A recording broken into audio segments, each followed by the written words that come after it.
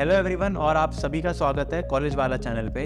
मैं राघव, आज डिस्कस करने वाला हूँ अबाउट ब्रांचेस इन कॉलेज अगर यार आप अभी ट्वेल्थ क्लास से जस्ट पास आउट हुए और आपके दिमाग में डाउट्स है कि ये कंप्यूटर साइंस क्या होता है इन्फॉर्मेशन टेक्नोलॉजी क्या होता है इलेक्ट्रॉनिक्स एंड कम्युनिकेशन क्या होता है, इनमें से कौन सी ब्रांच हमें लेनी चाहिए मैकेनिकल क्या होता है, ठीक है? यहाँ पे प्राइमरीली मैं आज बात करने वाला हूँ कंप्यूटर साइंस और आईटी और इलेक्ट्रॉनिक्स एंड कम्युनिकेशन के बारे में कि कौन सी ब्रांच आपके लिए बेस्ट रहेगी। किसमें यार करियर अपॉर्चुनिटी सबसे ज़्यादा है? किसमें सबसे ज़्यादा पैसा मिलता है? कौन सी ब्रांच सबसे आसान है पढ़ने में? किस ब्रांच में नंबर सबसे ज़्यादा आते हैं? किस ब्रांच में नंबर सबसे कम आते हैं? तो आज इन सारी चीज़ों के बारे में आपसे मैं बात करने वाला हूँ। शुरू करते हैं इस वीडियो को। सबसे पहले इन सब की फुल फॉर्म्स अगर आपको अभी तक ना पता हो तो computer science and engineering usually इसके कई नाम होते हैं। कई बार ये सी एस ई नाम से होता है। कई बार सिर्फ़ सी एस नाम से होता है। कभी सी ओ ई नाम से होता है। सी ओ ई का मतलब होता है कंप्यूटर इंजीनियरिंग राइट कभी इसके अंदर बहुत सारी वेरिएशन होती हैं C S A I C S D S और कहते हैं सी एस के साथ मतलब बहुत सारी चीज़ें लगा देते हैं यहाँ पे और ब्रांचेस बढ़ाने के लिए राइट तो मोटा मोटा सी एस का क्या होता है यार? यहाँ पे ऑफकोर्स अगर आपको एक सॉफ्टवेयर इंजीनियर बनना है तो काइंड ऑफ़ उसके लिए एक ब्रांच होती है आईटी भी होती है। लेकिन अब अगर मैं डिफरेंस की बात करूँ कि कंप्यूटर साइंस तो नाम से क्लियर है यार कि कंप्यूटर्स के बारे में है, हम सॉफ्टवेयर डेवलपर बन सकते हैं, हम डेटा साइंटिस्ट ये सारी चीज़ें हम कर सकते हैं राइट इन्फॉर्मेशन टेक्नोलॉजी जो ब्रांच होती है टेक्निकली स्पीकिंग ये बेसिकली एक सस्ती कंप्यूटर साइंस होती है। अब सस्ती से इसका मतलब ये नहीं है कि ये ब्रांच अच्छी नहीं होती। आईटी यानी कि इंफॉर्मेशन टेक्नोलॉजी ये बेसिकली यार ज़्यादा फोकस करती है सॉफ्टवेयर पार्ट के ऊपर। जैसे जो कंप्यूटर साइंस होती है ना, इसके अंदर भी ऑफकोर्स आपके सॉफ्टवेयर के सब्जेक्ट्स होते हैं, जैसे आईटी में होते हैं और बहुत सारे सब्जेक्ट्स तो इनके 60 70 80 परसेंट ऑलमोस्ट सिमिलर ही होते हैं। बट कंप्यूटर साइंस के अंदर कुछ हार्डवेयर रिलेटेड सब्जेक्ट्स भी होते हैं। तो बेसिकली टेक्निकली स्पीकिंग एक कॉलेज ये समझता है और ये बताना चाहता है कि अगर आप एक कंप्यूटर साइंस के इंजीनियर हो या फिर कंप्यूटर इंजीनियरिंग आपने करी है तो आप ना सिर्फ़ सॉफ्टवेयर डेवलप कर सकते हो, लेकिन आप उनके साथ हार्डवेयर के साथ भी खेल सकते हो एंड दोनों को अच्छे से इंटीग्रेट करना भी जान सकते हो।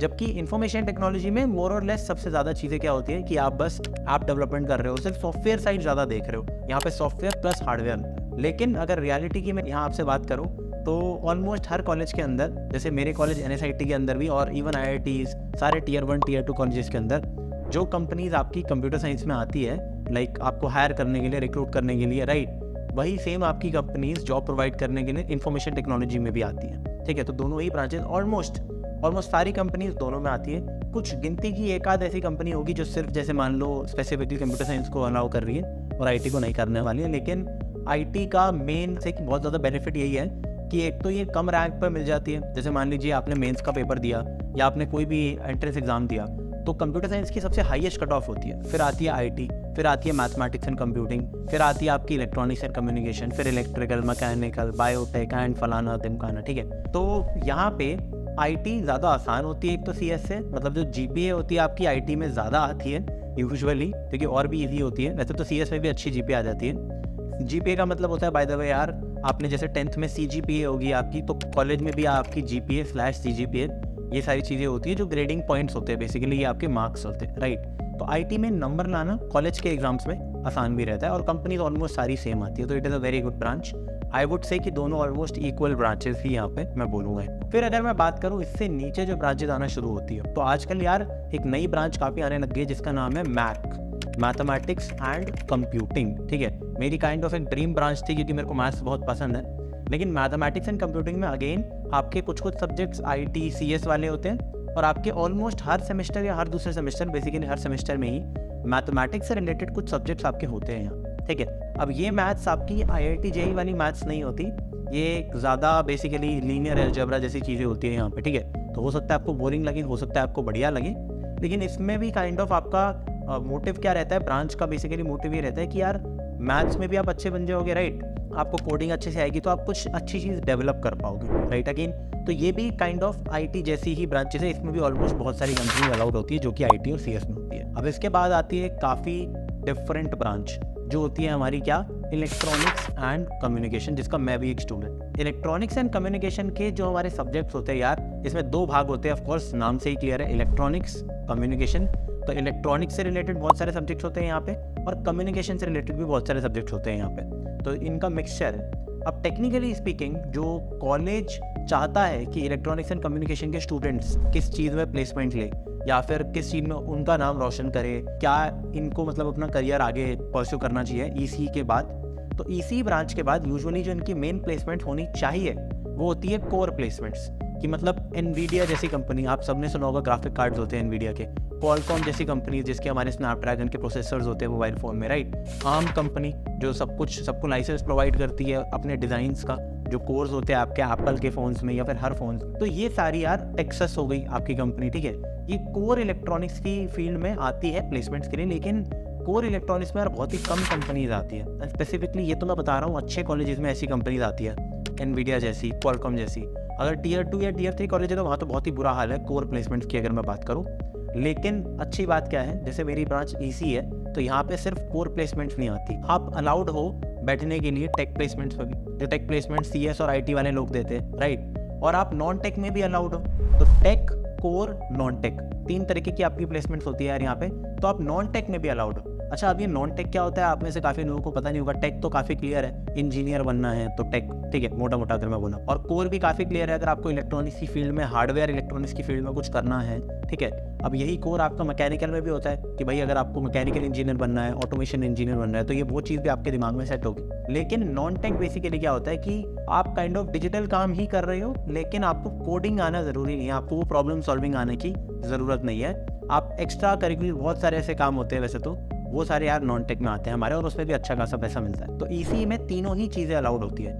एंड मेजोरिटी बच्चे जो होते हैं, वो टेक और नॉन टेक में जाते हैं कोर में बहुत कम जाते हैं। अब यहाँ पे अगर मैं बात करूँ, इसके बाद आती है आपकी मैकेनिकल इलेक्ट्रिकल जैसी ब्रांचेस तो वो और भी ज़्यादा आई वुड से हार्ड है। जैसे ईसी ऑलरेडी ईसी सबसे हार्डेस्ट ब्रांच है काइंड ऑफ़ जो ई है इलेक्ट्रॉनिक एंड कम्युनिकेशन तो वो बहुत ज़्यादा हार्ड है इन टर्म्स ऑफ़ इसमें नंबर अच्छे नहीं आते। एंड मुझसे पूछो, मैं तो क्लियरली बता सकता हूँ कि बहुत ही गंदे नंबर आते हैं इसमें इन कंपैरिजन टू आईटी की ब्रांच या सी की ब्रांच अब ऑफ़ कोर्स कोई अगर पढ़ने में अच्छा है तो उसके अच्छे नंबर आएँगे। लेकिन द पॉइंट इज़ कि यहाँ पे जो हम पढ़ रहे हैं, वो इतना रेलेवेंट नहीं होता। जो हम प्लेसमेंट में पढ़ते हैं उससे। जैसे जिसकी मेरी प्लेसमेंट लगी है सॉफ्टवेयर इंजीनियरिंग में that is very different compare to you know this thing the subject that I have studied in my branch right but अब यहाँ पे आप यही पूछोगे ना, बहुत सारे बच्चों का जो मैं यहाँ पे क्लियर डाउट क्लियर करने वाला हूँ मेजर काफ़ी बच्चों को ये लगता है कि भाई हम ई सी ले या सी एस ले। अरे भाई साहब, आपको अपना दिमाग नहीं चलना ना। मेरी बात समझो, आपको हो सकता है बुरे लग रहे होंगे मेरे शब्द, लेकिन ये गलतियाँ मैं और मेरे बहुत सारे बैचमेंट्स ऑलरेडी कर चुके हो। होता क्या है, बारहवीं बारहवीं से आप अभी नए नए निकले होते हो और आपके दिमाग में शौक होता है कि यार हमारा ना ये पैशन है। मैकेनिकल इंजीनियरिंग मेरा पैशन है। मुझे गाड़ियाँ बनानी है ये वो। गधे हो आप एक नंबर के। क्योंकि होता क्या है, जो भी ये पैशन पैशन करने वाले बच्चे होते हैं, या फिर इनफैक्ट कोई भी होता है एट दी एंड तीन साल के बाद, दो साल के बाद कॉलेज में सब कोडिंग ही करने लग जाते हैं राइट क्योंकि देखो पॉइंट क्या होता है पैशन से कभी कभार बहुत ज़्यादा आउटवे कर जाती है कि भाई कितना आपको पे मिल रहा है या कितनी अपॉर्चुनिटी दे देता है आज के टाइम पे मैकेनिकल भले ही एवरग्रीन बोलते हैं लोग मैकेनिकल को सिविल को अपॉर्चुनिटीज़ बहुत कम है प्लेसमेंट की, और जहाँ है भी, जैसे डी एक कॉलेज है जहाँ का मैकेनिकल अच्छा है, बहुत सारी वो सबको ऑलमोस्ट प्लेस कर देता है। लेकिन चार चार, पाँच पाँच छः छः लाख की प्लेसमेंट देता है।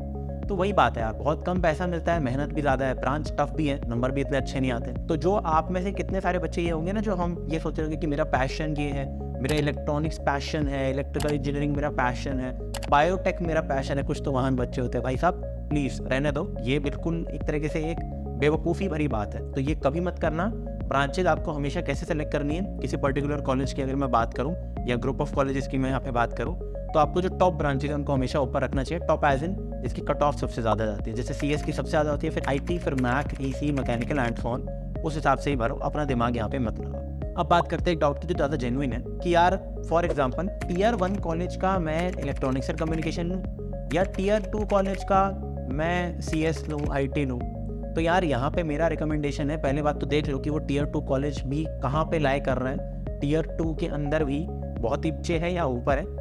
उसके बाद यार ये देखो कि अगर आपका जो कॉलेज है, काफ़ी अच्छा है और जो टीयर टू कॉलेज है वो ठीक ही है। तो आई कैन सजेस्ट कि आप टीयर वन कॉलेज का इलेक्ट्रॉनिक्स एंड कम्युनिकेशन ले लो। फॉर एग्ज़ाम्पल मैंने टीयर वन कॉलेज का ई सी लिया है ऑफकोर्स मेरे को ये tier two V I T Manipal S R M इन सारे एम शम टी तो चलो बहुत ही दूर की बात है। इन सारे कॉलेज मेरे को बहुत आराम से कंप्यूटर साइंस मिल जाती है इवन थापर में भी। राइट जो टीयर टू कॉलेजेस है। लेकिन टीयर वन कॉलेज की यार एक चीज़ होती है जिसको हम कहते हैं ब्रांड वैल्यू काफ़ी बच्चे ऐसे में इसलिए भी डिसाइड करते हैं कि क्या आईआईटी का इलेक्ट्रॉनिक्स एंड कम्युनिकेशन लूँ या फिर N S I T N I T अच्छी N I T T U इन सब का मैं सी एस लूँ। तो यार यहाँ पे आपको ना कुछ चीज़ें कंसिडर करनी पड़ेगी। अगर मैं सिर्फ़ बात करूँ टीयर वन में भी जो बहुत अच्छे कॉलेज हैं कंपेयर टू टीयर वन के ठीक ठीक कॉलेज मतलब I I T N I T अभी मैं सिर्फ़ इनकी बात कर रहा हूँ या इनके रिलेटेड कॉलेजेस की, कि आई आई टी का ई सी लूँ या एन आई टी का सी एस दोनों मिल रहे होंगे ऑफकोर्स ऐसी रैंक आती है स्टूडेंट यहाँ पे आई वुड से अगर आप सिर्फ़ और सिर्फ़ प्लेसमेंट ओरिएंटेड बात कर रहे हो, सिर्फ़ और सिर्फ़ वापस सुनो प्लेसमेंट ओरिएंटेड बात कर रहे हो कोडिंग करनी है ये वो तो आप एनआईटी जो कि टीयर वन में ही है टीयर वन में ही अभी कॉम्पिटिशन कर रहा हूँ मैं तो एन का आप सीएस ले सकते हैं आईआईटी के ई e या फिर मैकेनिकल को। मैकेनिकल को तो ऑफकोर्स छोड़ के। लेकिन ऐसा नहीं है कि आईआईटी में ई e में टेक प्लेसमेंट नहीं लग सकती। इट इज़ जस्ट डैट कि आपको वो सब्जेक्ट्स पढ़ने पड़ेंगे। दूसरा, अगर आप चाहते हो कि ब्रांड वैल्यू आपके लिए बहुत इंपॉर्टेंट है, आपको बाद में मास्टर्स करना है, या देखो, सीधी सी बात यह है कि भले ही कितने ही लोग कुछ भी बोल दें कि यार कॉलेज मैटर नहीं करता डिग्री मैटर नहीं करती, सब फर्जी लोग हैं। यहाँ पे अगर मैं एग्जांपल लूँ कि जो शार्क टैंक में आए थे, सबसे फ़ेमस जज अश्नील ग्रोवर तो वो खुद क्या लिखते हैं कि यार डिग्री डजेंट मैटर स्किल ये, वो, ये सब मैटर करता है। और फिर हर जगह मेंशन कर रखा है कि आईआईटी से हूँ मैं आई आई एम करता है मैटर ठीक है? वो कितना ही फेंक ले, कोई इंसान करता ज़रूर है। तो अगर किसी को डिग्री बहुत ज़्यादा चाहिए, आगे जाके कुछ और चीज़ें करनी है तो येस आई आई टी की degree is much better than N ठीक है? अगर अब मैं बात करूँ एन या फिर एन एस की electronics and communication versus I P university या कोई और टीयर टू टीयर टू का सी एस तो यहाँ पे यार मैं क्लियर रिकमेंड कर सकता हूँ कि आप अच्छे कॉलेज के टीयर वन का ई सी ले लो। वहाँ पे आपको अपॉर्चुनिटी मिल जाएगी कंप्यूटर साइंस की, ठीक है? इंस्टेड कि आप स्पेसिफिकली सिर्फ़ सी एस पढ़ने के लिए टीयर टू कॉलेज में जा रहे हो डेफिनेटली फ़र्क पड़ता है। अब अगर आपको टीयर वन कॉलेज का मैकेनिकल मिल रहा हो और टीयर टू कॉलेज का सी एस मिल रहा हो तो यार यहाँ पे मेरे काफ़ी स्ट्रॉन्ग व्यूज़ है। कि मैकेनिकल में आजकल नहीं है प्लेसमेंट्स तो आप यार टीयर टू का ही कंप्यूटर साइंसेस के ऊपर डेफिनेटली प्रेफर कर सकते हो। ठीक है? अब ये टीयर वन का मेरा मतलब था N I Ts and all अगर आई आई टी की मैकेनिकल की बात करूँ तो उसकी जगह पे मैं रिकमेंड करूँगा कि आप अगर आई आई टी की मैकेनिकल मिल ही रही है, फिर तो आप एन आई में सी एस ई सी ले बेटर है तो आई होप आपको क्लियर हो गया होगा कि क्या हमारी C S I T branches E C branches और मैकेनिकल ब्रांचेस इनमें क्या डिफरेंसेस होते हैं? इनके बारे में अगर आपको डिटेल्ड और जानना है तो यार कमेंट में ज़रूर बताना कि कॉलेज वाइज हम क्या सच कट ऑफ़ लाए आपके लिए कि क्या क्या चीज़ जाना बेटर रहेगा, या कुछ ऐसी लिस्ट ऑफ़ कॉलेजेस तो मेरे को डेफिनेटली बताना कमेंट्स के अंदर। आपसे मिलते हैं यार नेक्स्ट लेक्चर में। आई मीन नेक्स्ट वीडियो के अंदर। मैं लेक्चर की आदत हो गई है। बाय